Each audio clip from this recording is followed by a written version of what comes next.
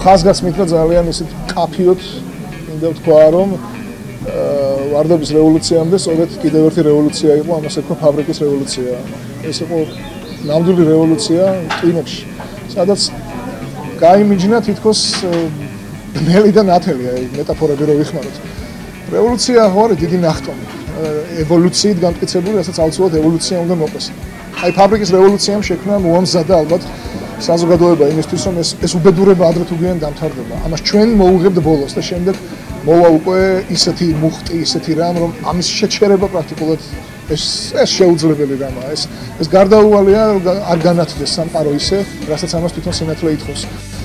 მაშინ იმ წლებში როცა მოხდა ეს საქართველოსი სახელმწიფო გადატრიალება ბუნებრივია რომ ახლა აირია ქვეყანა ისე რომ გაწონასწორება კი არა, პიროვნების ბედი იყო დიდი სამიზნის ქვეშ ამოღებული. ტყვია იყო და ლულა მოდებული ნებისმიერი ადამიანის შულზე. და რაღაცა სუფევდა დიდი აბსოლუტურად ალოგიკური და რატომღაც გამართლებული ესეთი უსინდისობა ქვეყანაში. აი ფაბრიკა იმ პერიოდში იყო ისეთი ანდერგრაუნდის სივრცე, სადაც გამოდიოდით ხო, იყო პოეზია, პატრობა, მუსიკა, ამას აკეთებდა ლადო ბურდული. და ნუ მეც მქონდა გარკვეული წვლილი ამაში შეტანილი. ლადო იყო აი პირველმა მან დაიწყო პრაქტიკულად შემიძლია თქვა ფაბრიკაში ადამიანთა პიროვნებათა ესეთი შემოკრება მაგნეტივით იზიდავდა მაშინ ყველას. მაშინ იყო ორი ასეთი სცენა. ერთი იყო ტელეკომპანია მეორე არხი, საჯარო ღია სცენა, სადაც თავისუფალი აზრი განედინებოდა. იქ აკეთებით ჩვენ საავტორო ჩვენს პროექტებს და მეორე იყო სწორედ ფაბრიკა. ასეც დაარჩა ფაბრიკა თითქოს შემთხვევით ეს ყოველთვის ასოცირდებოდა ეს იყო თითქოს აი სულების ფაბრიკა თითქოს აკეთებდა ადამიანის სულის გაჩენა მისი ინფორმაციით დატენვა დამუხტვა სინათლით თუ კი რამ ასეთი ჩვენ მაშინ შეგვეძლო ერთმანეთისთვის გადაგვეცა მე ღრმათ ვარ დარწმუნებული რომ მართლაც იმ ბნელ პერიოდში სინათლე მოიტანა სწორედ აი ამ ორმა ორმა მართლაც ანდერგრაუნდის გამონათება.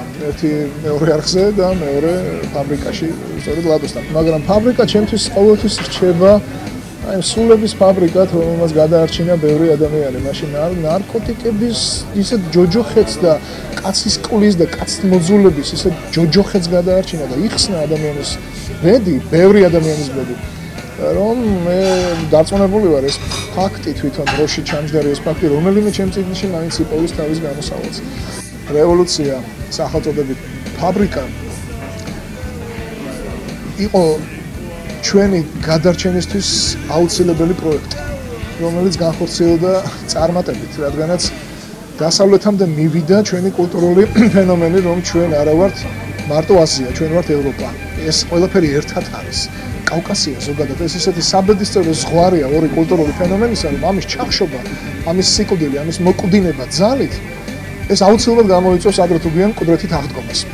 აი სწორედ ფაბრიკამ შეუწყო ხელი რომ საქართველოს კუდრეთით აღდგა როგორც კულტურული ფენომენი. ფაბრიკის რევოლუცია არის ნაწილი ჩვენი კულტურული და სოციალური სამყაროსი სადაც ჩვენ ყველანი ვიყავით ვართ და ეს პროექტი ერთხელ ჩაფიქრებული და დიდი წარმატებით განხორციელებული რადგან ჩვენ უბრალოდ არ დავნებდით აი ეგ იყო რომ ჩვენ ჩავჭიქით ყველანი ერთ ნავში, ბევრი გადაჭდა ამ ნავიდან, მაგრამ დღემდე ჩვენ კიდევ ერთ ნავში ვართ. და არა ერთმანეთს უყურებთ, არამედ ერთი მიმართულებით ვიყურებთ. აი ეს მიმართული არის თავისუფლება. აი ეს თავისუფლება იყო ფაბრიკის რევოლუციის თავარი იდეა. მამოძრავებელი არტერია, სადაც ჩვენი სისხლი, ჩვენი დანიშნულება განედინება.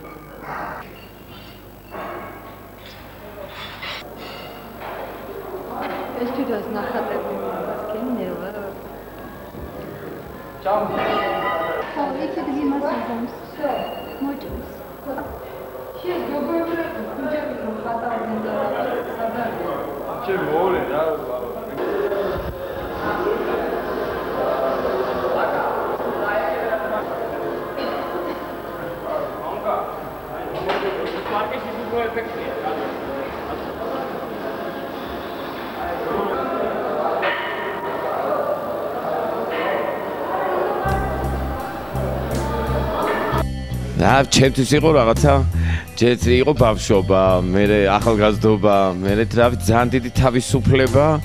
აი რაღაც რამდენიმე სიტყვით რო აღწერო და ძალიან მაგარი რაღაცა იყო, რა ვიცი, ეგეთ საქართველოსი აღარ ყოფილა. მთელი მართლა კულტურა იყო, არა მარტო ფაბრიკა ხარ იყო ეს, რა ვიცი, როგორც მთელ სოფლიოში ვთქვათ რაღაცა არსებობდა ისეთი ადგილები როგორც სტუდიო პისა ჩიტირი, მე რა ვიცი, იქ ინგლისში რაღაცა ის ანდერგრაუნდის მოძრაობა, ალბათ ეს იყო თბილისში ისაც ხდებოდა. შემიძლია ვთქვა, რომ ის დღეს რასაც მე წარმოვადგენ, ანუ ის ხელოვნებაში მოღვაწეო ამ სფეროში ვარ და რაღაცას წარმოვადგენ, ეს ფაბრიკის დამსახურებაა თავისთავად და უამრავი იმ ახალგაზრდების კიდე რომლებიც იქ მაშინ მოძრაობდნენ.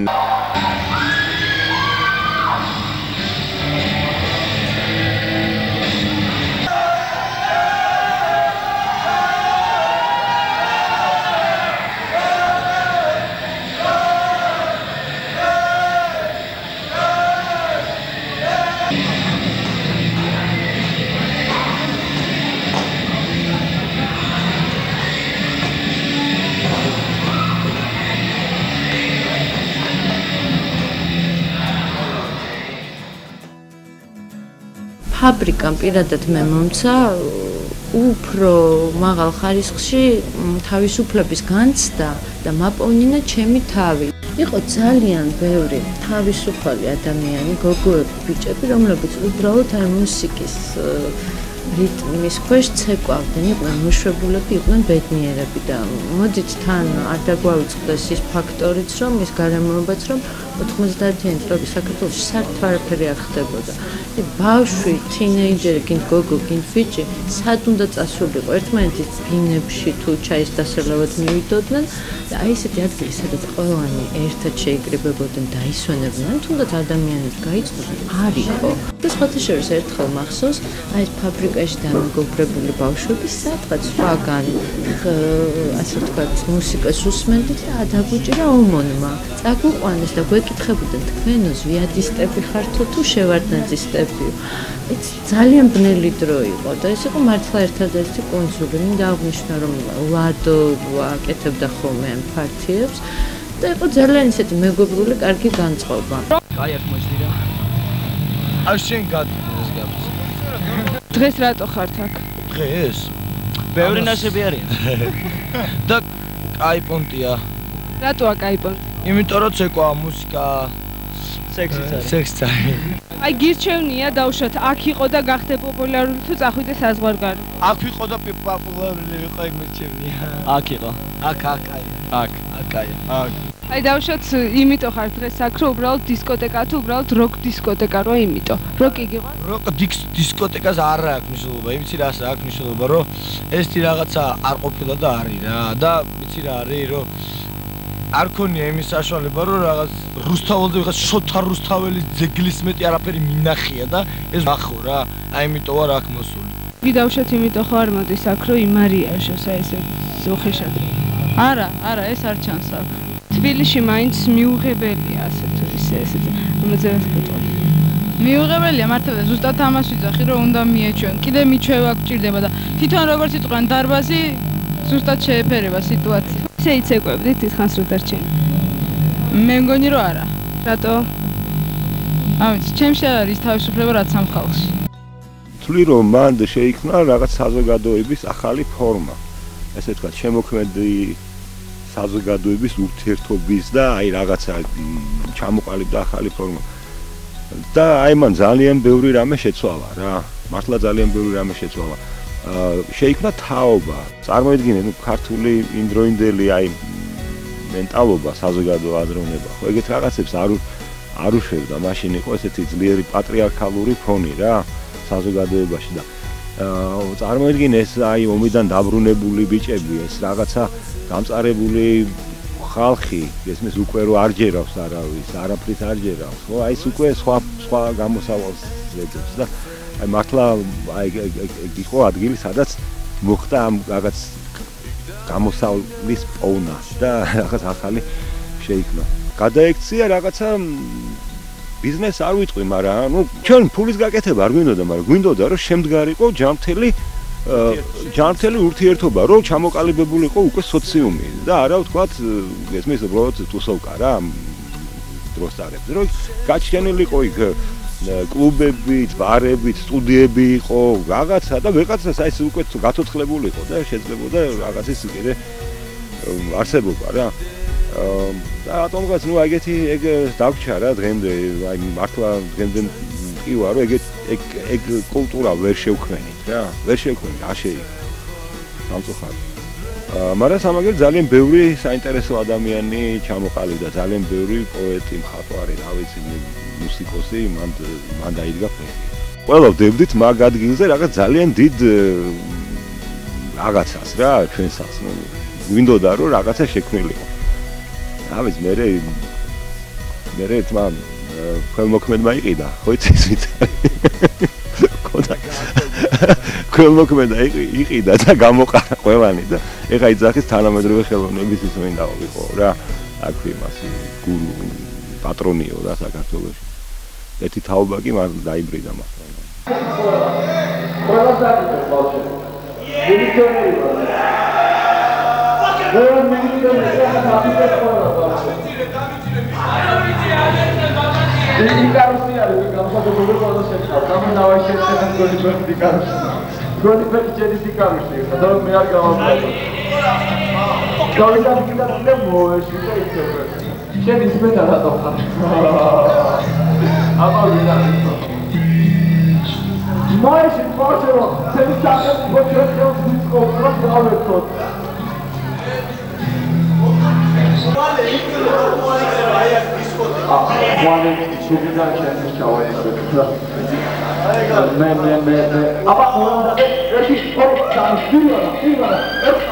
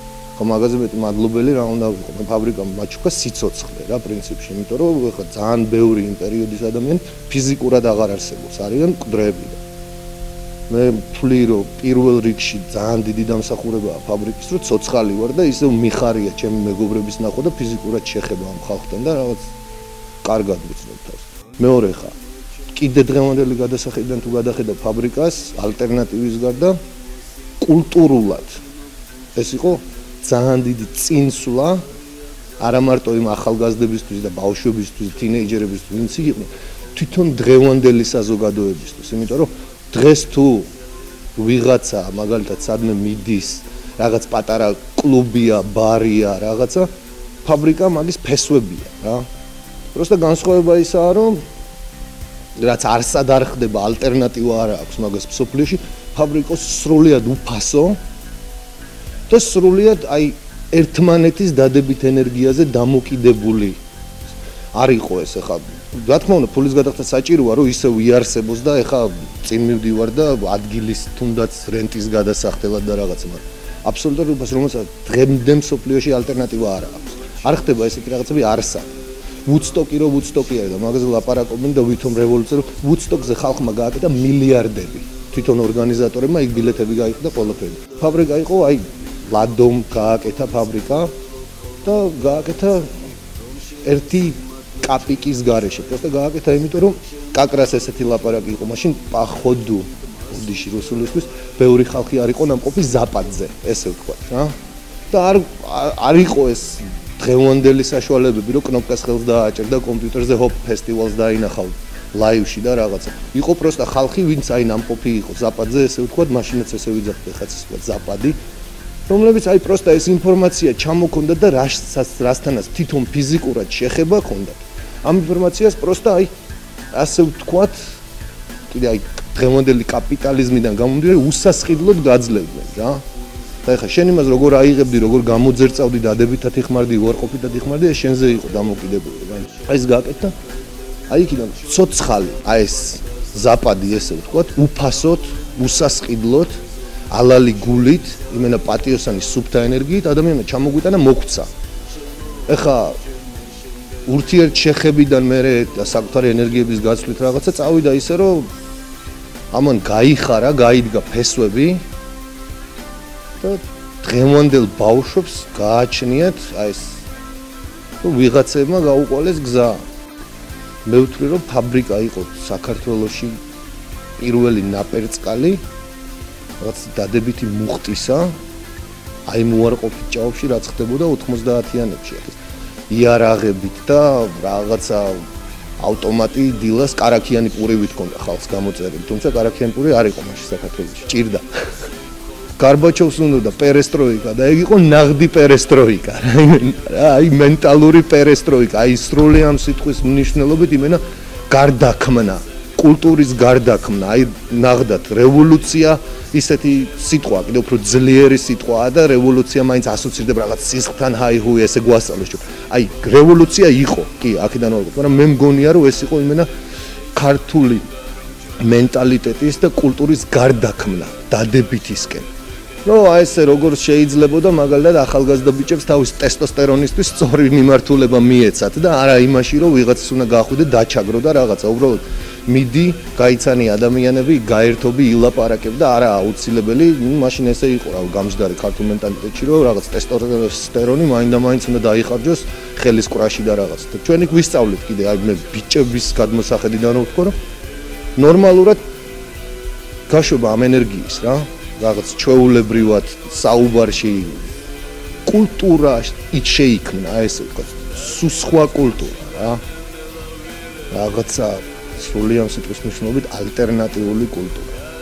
მე პირადად დიდი მადლობელი ვარ, რომ ესეთი რაღაცა პროსტა აი ეს დაპერწკალი შეიქმნა მაშინ და როგორც იარ მიყვარს ახლა როგორც კომუნისტები იყვნენ ნაპერწკლისგან აინთება ალი ჟურნალი ისკრა აინთო ალი რა ესე რა ვიცი უზომოდ კმაყოფილი ვარ დღემდე და პროსტა მე ვარ ბედნიერი რომ აქ ყველაფერს მოვესწარი პირადად და გადმოცემით არ ვიცი რა ტელეკომპანია თამარიონის მუსიკალური სტუდია ჩვენ დღეს ვიმყოფებით აბრეშუმის ფაბრიკაში სადაც სტარტდება დისკოტეკები ჩვენ ვეცდებით სისტემატიურად მოგაწოდოთ ინფორმაცია დისკოტეკების შესახებ როდის სად და როგორ ჩატარდება ყველა კარქასიაძეა, ყველას მოხსნილი აქვს თავის პრობლემები და ყველა ბედნიერია, რომ დღეს აქ არის და დღეს ერთად არიან. აი დღეს რატომ მოხვედი აქ? იმიტომ რომ ყველა ერთნაირი ხალხი აქ შეყრილი და რაც უფრო ბევრნი ჩვენ ერთნაირები ნახავთ ერთმანეთს ჯობია გზიერთ რაღაც. როგორი იდეა მოძრაობს ამ? თავისუფლება, უკომპლექსობა, მუსიკის სიყვარული და არავითარი აგრესია. რატო უსმენ როკს? საერთოდ როკი, რა ვიცი, გძნობები ყველანაირ გძნობაში მეხმარება და ყველა საქმეში. ლადო, რატო ხარ დღეს აქ? რაო? დღეს რა რატო ხარ? ხაჩიშველი რატო ხარ? გიში ხარში. შეიძლება არ ქსიამონებ, შენ რო შიშველი ხარ და მარტო გაცვია ეს ჟილეტი, რატო ხარ ეს? თუ არ ხსიამოვნებს აი ქუჩა მოხედავ რა მხელა შეიძლება გამო. როქს რატო უსმენ? გოი მივადა. როგორ ხასიათზე? ჯიგარ ხასიათზე. არჩი მოგწონს სიტუაცია. შვიდობა გიყვარს და იმიტომ ვარ თუ აქ. კაია, თავისუფალი ხალხია, კაია, ბევრი რო იყოს ესეთი ტუსოვკები უფრო გაასწორებდა. აა ფაბრიკა იყო ჩემთვის მარტივად რო ვთქვა, პირველი შეხება ევროპასთან, თბილისიდან გაუსვლელად. აა პირველი დისკო, პირველი დიჯეი, პირველი ეს რაღაცა თავისუფლების შეგრძნება ყველაფერი ეს იყო ფაბრიკა. დიდი მნიშვნელობა ითამაშა დიდი როლი, რომ გადამეწყვეტა, რომ ესეთი ცხოვრება არსებობს სადღაც და მინდა რატომაც არ მინდა და როგორც მივხვდი მე იქ რაღაც სადაც ცხოვრობდი, ცოტა შეუძლებელი იყო ეს ყველაფერი. ლადო მიმიყვანა პირველად აქ და შემდი რო აღმოვაჩინე რა ვიცი იმის მერე სულ ვცდილობდი რომ არც ერთი არ გამომეტოვებია შანსი ყოფნის იმდანაც დადებითი რაღაცა იყო და დიდი ენერგია ჩვენ. გარეთ რა იყო? გარეთ იყო შიში, სიშავე, სიბნელე, ქუჩაში გამოსვლა რო არ გინდოდა და ერთი პუნქტიდან მეორემდე მანამ მიხვიდოდი რაღაც ესეთ ჩაკეტილი ნიჟარაში უნდა ყოფილიყავი რო არავის არ დაენახე და არავის არ დალაპარაკებოდი და არავინ არ გამოგ რაღაცა კონტაქტი არ ქონოდა სხვა ხალხთან, იმიტომ რომ იყო აბსოლუტური ნეგატივი. და ეს ენერგია, რა თქმა უნდა, ვიღაცა რომ საზაკეთებს, თუ არა აქ ამ ადამიანს ეს ეს ენერგია ალბათ ვერ ვერანაირად ვერ ვერ შეკრიბავს ამდენ ადამიანს ერთად და ვერ შეძლებს მათ განთავისუფლებას. და ეს ჩემს აზრით ლადოსგან მოდიოდა და მისი გლუბ ხალხი ახლობლივი მაგრამ ძირთადი ჩემთვის ძირთადი პერსონა მაინც ლადო რომელსაც ეს რაღაცა მოახერხა ყველა ადამიანის ვუბიძგა ჩვენ ახლა უფრო პატარები ვიყავით ალბათ თავისუფლებისკენ free your mind რასაც ქვია ცოტა გავხსენით გონებები და მივიღეთ ამაში მონაწილეობა და ზუსტად მაგის მერე რაღაც არ ვიცი ძალიან მალე 90-იან წლების დასაწყისში მე დავედი მე თბილისიდან და რა ვიცი ფიქრობ რომ ამ ყველაფერმა დიდი როლი ითამაშა რომ ჩემი რაღაც შანსის გაშვება ხელიდან აღარ მინდოდა და მიხდი რომ მან რაღაცა ცოტა მიზნელდებოდა რადგანაც ესე რა მიზნელდებოდა მან და ყველაფრის იმის გამოხატვა რაც მინდოდა მithmet ის რომ ახლა გოგოსთვის ალბათ მაინც ოც უფრო ძნელი იყოს ბრძოლა და ხო ეს იყო ფაბრიკა. მრავალი წლის მერე დაუბრუნდი მე მე ამ ფაბრიკაში უკვე იყო აბსოლუტურად დემოლირებული.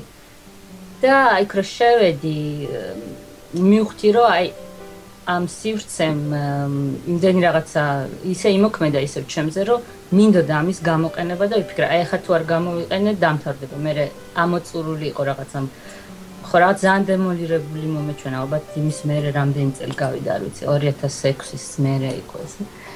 მოკლედ მიიყვანეს ორი მსახიობი და გავაკეთე ესეთი ფოტონამუშევარის სერია, რომელიც ახლა გამოფენილია შვეიცარიაში და ძალიან დიდი მოწონება დაიმსახურა. ეს ნამუშევარი არის ამ ადამიანის ზუსტად იდენტიფიკაციაზე, ან იდენტიტეტის დაკარგვაზე, პოვნაზე. ორი მსახიობი არიან გოგო და ბიჭი, მაგრამ 10-20 ერთნაირი რაღაცეებია, ანუ მინდოდა რომ არ ყოფილიყო ქალის და კაცის დაპირისპირება უნდა არიან აბსოლუტურად რაღაც ერთხაზოვნად ერთნაირები და აა ხნამშორზე არ ვილაპარაკებ და არის აი ზუსტად ამ რაღაცა ძიების თუ პოვნის თუ და დაკარგულობის და აი ყველაფერი ამისი ინსცენირება მოვაწყეთ მოკლედ ამ ფაბრიკაში და ძალიან კარგი ნამუშევარი გამოვიდა. მე რაღაცა ძალიან მიყვარს და როგორც მივხვდი ხალხსაც ძალიან მოეწონა და ძალიან დიდი ყველაზე ძალიან დიდი დიდად იმოქმედა ამ სივრცენ სადაც არის ეს ფოტოები გადაღებული და ყველას აინტერესებდა რა არის სად არის და რა ხდება ვერან ვერ ხდებოდა და ყველას ძალწალკე უყვებოდი ამ ფაბრიკის ისტორიას თავისი თავიდან რო იყო ერთხელ ფაბრიკა და მე რო იყო დისკო და ეს რო იყო ესეთი რაღაცა მნიშვნელოვანი რაღაცა ჩემ ქალაქში და მიშა ყველაფერს რა თქმა უნდა იღებს რა თქმა უნდა. განაცნობი გულკითხვა. საყვარელი რა თქმა უნდა. ეს კარები რასთან დაგვაკავშირებს? სკინის კარები გაიღება და აქ შემოხვა. მე აქ იქნები. აქ რა ხდება? აი ეს ხდება და აქ შიგნით ვინ დახტება? პანკები. კიდე ხიპები. დავსიო. აი მასტები. ნო ჯიგრები და აი ყველა აი გერ აი შენ ამ გუგოს ხო იცნობ? ისვის ხარ დღეს აქ? აქა. კაი პუნქტია.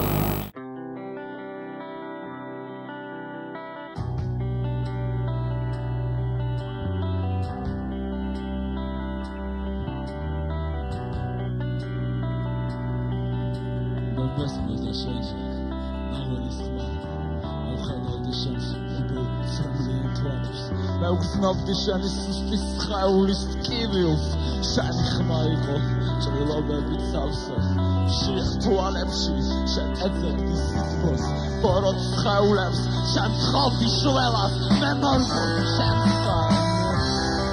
მე მორგოდი შენ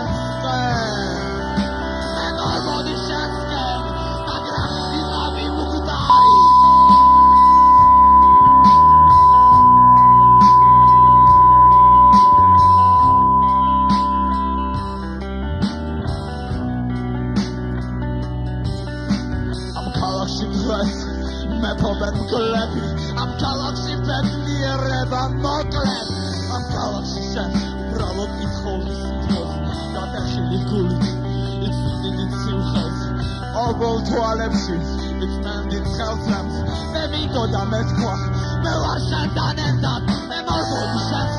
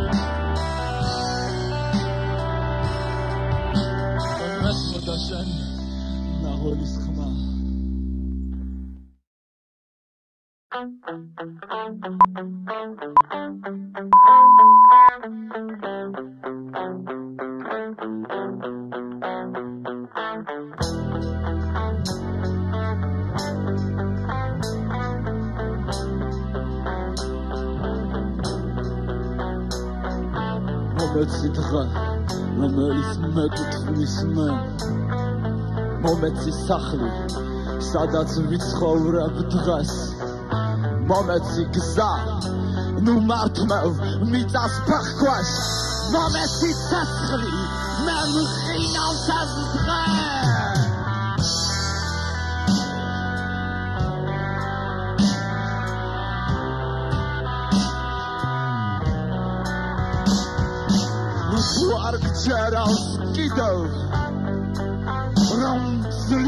ძლიერები ამ ქალაქში ობლების ხორცს ჭამენ შენ ჭამხორცს რომელიც ეკუთვნის შენს ძმებს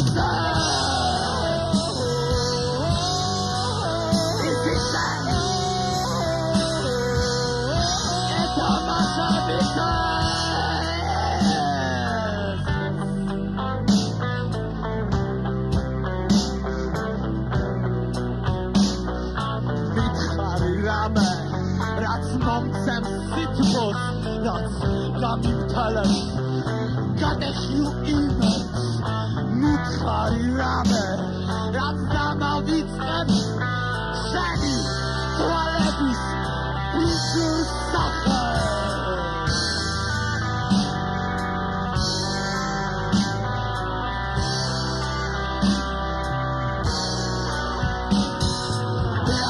მინდა რომ გათენდეს დღე დღე რომელსაც ვერ განვაგებ მე მე აღარ მინდა რომ ვიცხოვრო სახლში სახლი რომელიც არ მახობს მე შენ